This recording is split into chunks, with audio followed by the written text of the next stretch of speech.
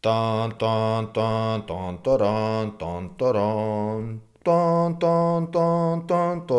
tun, turún. Tururún, tutun, tun, tururún, tutun, tun, tururún, tutun. Si tan solo conocieras el poder de los trazos. ¿Estás listo? Vamos, echando trazos.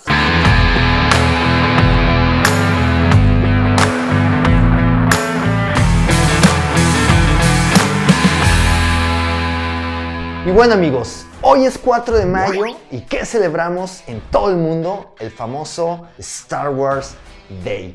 Así que quiero comenzar estas celebraciones mostrándoles primero algunos de los artículos más padres que tengo en mi colección de Star Wars. Y bueno, primero voy a comenzar con lo que tengo aquí a la mano. En primer lugar, mi fiel compañero Arturito.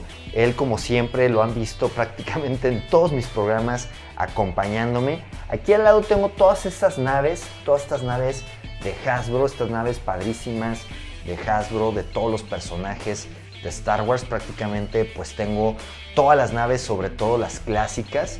Y bueno, de este lado tengo estos personajes un poquito más grandes. Estos personajes son los famosos Black Series de Hasbro. Tengo aquí en medio los de la película Una Nueva Esperanza.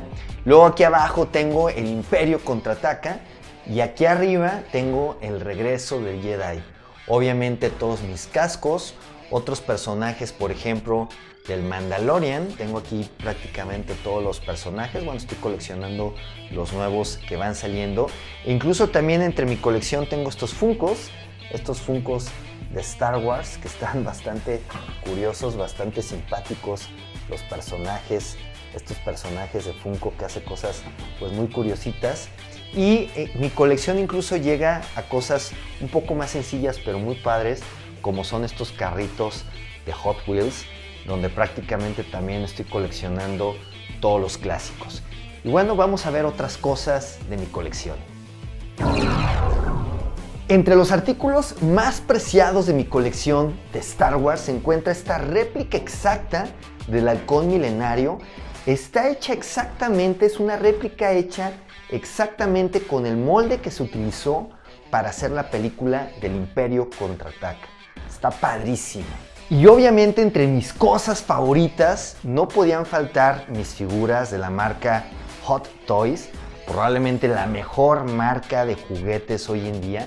Vean nada más estas figuras padrísimas, el detalle de cada uno de estos personajes, el detalle de cada uno de estos monos es impresionante, desde los trajes, los parecidos de los rostros.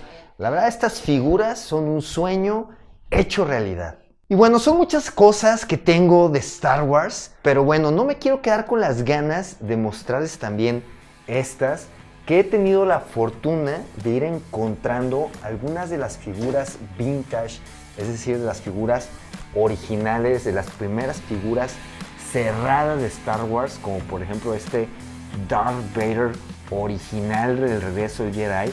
Chequenlo, totalmente pues casi nueva la figura, cerrada en su empaque. He podido conseguir pues ya algunas de estas figuras y sin lugar a dudas pues estas también son parte muy preciada de mi colección de Star Wars.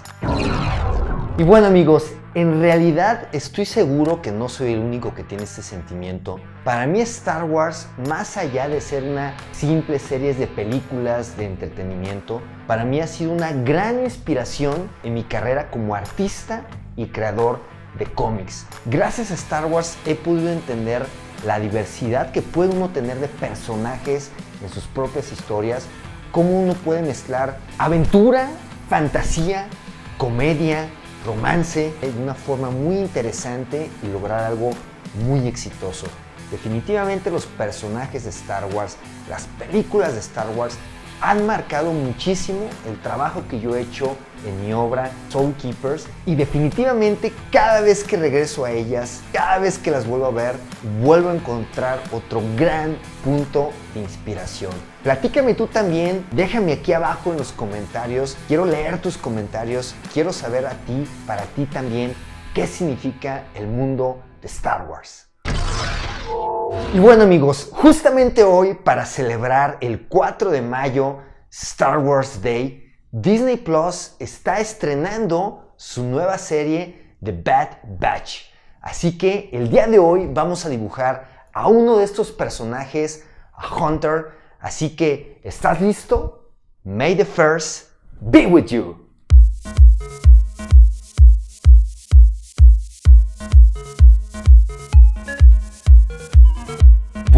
Pues comencemos esta ilustración de Hunter de la nueva serie The Bad Batch de Star Wars. Que bueno, esta serie es creada por el mismísimo Dave Filoni, el genio detrás de The Clone Wars. Y bueno, déjenme decirles que a mí en lo personal Clone Wars es una de las grandes joyitas a veces no tan entendidas de todo el universo de Star Wars. Esta serie animada, la verdad es que es padrísima la forma como desarrollan a cada uno de los personajes. Y bueno, la verdad es un gusto saber que pues finalmente Disney Plus le está dando seguimiento, un muy buen seguimiento a esta serie de Clone Wars y que podremos ver a partir de hoy, a partir de hoy 4 de mayo, el arranque de esta nueva serie basado en estos, en estos clones, en este equipo de clones, que sin lugar a dudas y sabiendo que viene directamente creada por este Dave Filoni, pues será una gran serie que habrá no que perderse. Entonces, estamos haciendo nuestra ilustración, los primeros pasos, estos primeros trazos iniciales. Estoy utilizando un lápiz dureza H y tal y como te estás dando cuenta, voy a dibujar al personaje sin su casco, quitándose el casco, sosteniendo con sus dos brazos el casco. De esta manera podremos ver el rostro de este clon llamado Hunter y el casco sosteniendo el, famoso casco de clon que obviamente estos personajes son muy interesantes porque cada uno de ellos que conforma este, este equipo, el lote malo de Bad Batch, pues cada uno tiene características distintas, tanto en la parte, en su parte fisiológica y en la parte de los trajes. Cada uno de los trajes está muy customizado. Y a mí lo personal este fue probablemente el que más me llamó la atención, el diseño de este traje, el diseño de este personaje. Y por esa razón fue el que decidí dibujar el día de hoy. Y bueno, pues continuamos. Vamos terminando esta primera pasada de lápices de nuestro personaje. Recuerda que es importante antes de comenzar el proceso del detallado, tener estos trazos iniciales con las formas básicas para entonces a partir de que ya tengamos las formas básicas del personaje, ahora sí empezar a detallar un poco más y poco a poco irle metiendo más detalle hasta que finalmente entremos al proceso del entintado. Recuerda que el listado completo de los materiales que estoy utilizando para hacer esta ilustración lo podrás encontrar en la descripción de este video.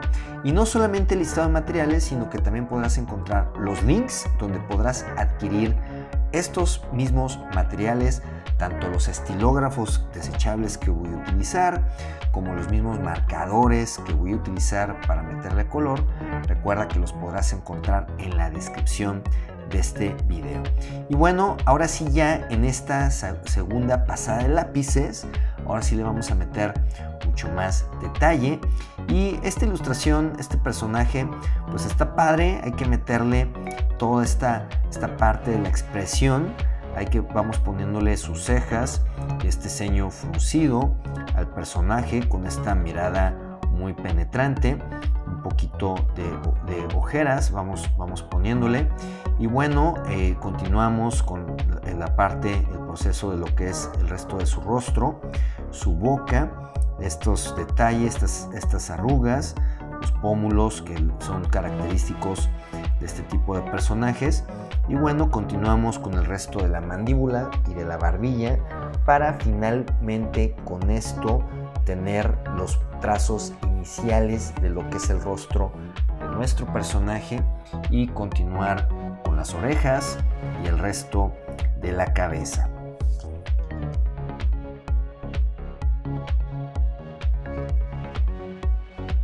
Todo esto lo estamos haciendo como parte de la celebración de este Star Wars Day en este 4 de mayo.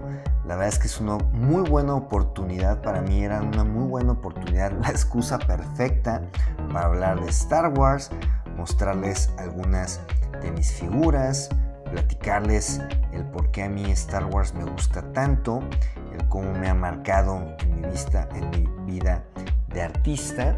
Y bueno, definitivamente hay muchos personajes, muchos personajes que me gustan muchísimo del universo de Star Wars. Claro está Darth Vader, probablemente es uno de mis favoritos. Pero bueno, mi personaje principal favorito del universo de Star Wars es Boba Fett. Incluso les voy a dejar al final de este video, les voy a dejar el link a otro video donde se lo dedico totalmente a este famoso caza recompensas. Ahí les muestro muchos de los artículos de mi colección de Boba Fett, que de, Boba Fett definitivamente tengo muchísimas cosas, muchísimos monos, artículos que les muestro en, este video y obviamente dibujo al mejor recompensas de todos los tiempos del universo de Star Wars a Boba Fett. Y bueno, obviamente para nosotros, todos los fans de Star Wars, todo este hype se ha elevado muchísimo. Gracias, gracias a la serie del Mandalorian. No hay que olvidar que esta serie del Mandalorian pues es la que vino ahora sí que a salvarle el pellejo al universo de Star Wars, vino a salvarle el pellejo a Disney.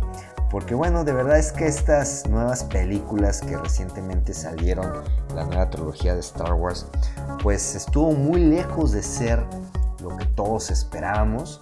La primera película, el episodio 7, quizás no fue tan mala en sí misma. Creo que es una película que tiene pues algunas partes interesantes, el planteo de los nuevos personajes y bueno, nos deja un poquito con la duda, el beneficio de la duda de que se podría convertir en una buena nueva trilogía si lo hubieran manejado bien en las siguientes. Pero bueno, luego vino ya el siguiente episodio, el episodio 8, que ese sí también ya estuvo bastante malito. Ahí ya empezaron a descomponer muchísimo el tema de los personajes, tales, personajes como Luke Skywalker, cuando vemos como pues sin ningún respeto avienta su propia espada, cuando lo tratan de poner como si fuera una especie de asesino de su propio sobrino.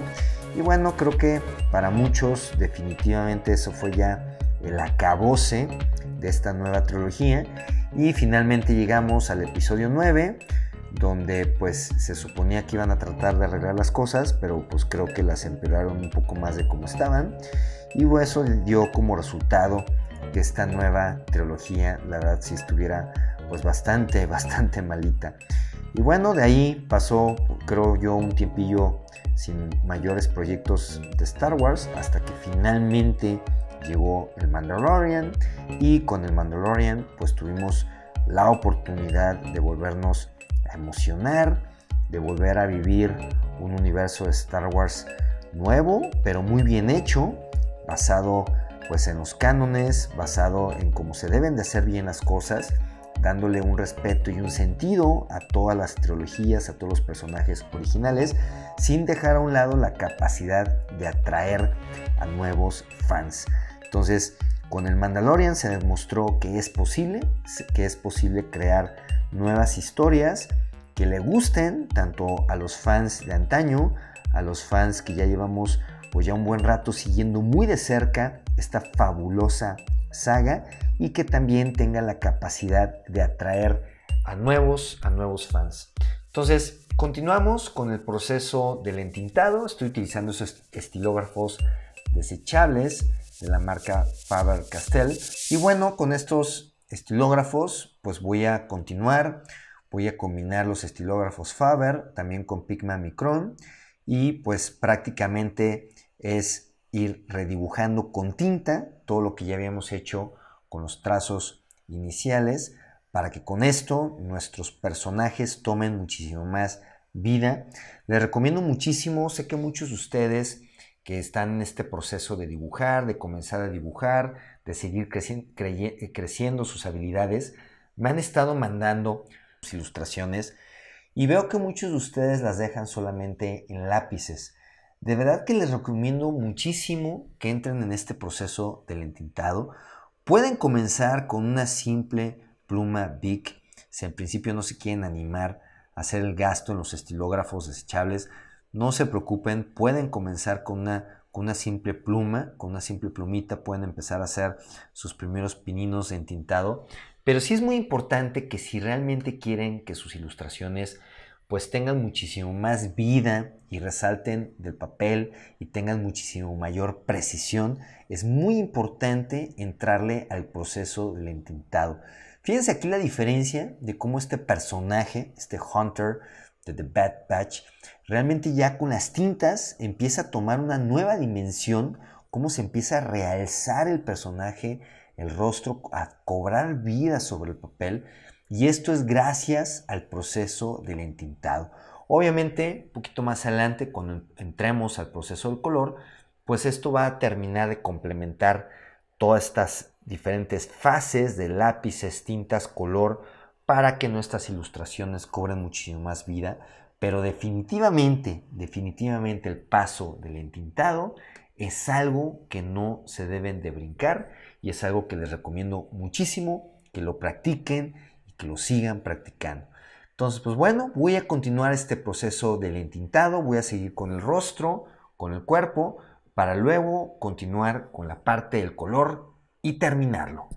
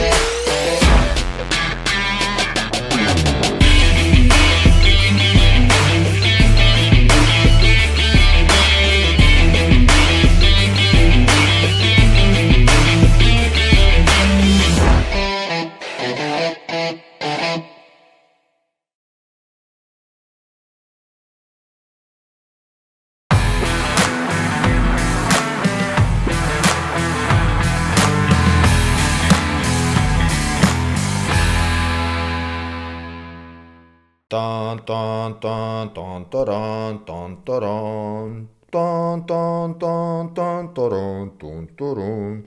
Tororun ton ton tororun ton ton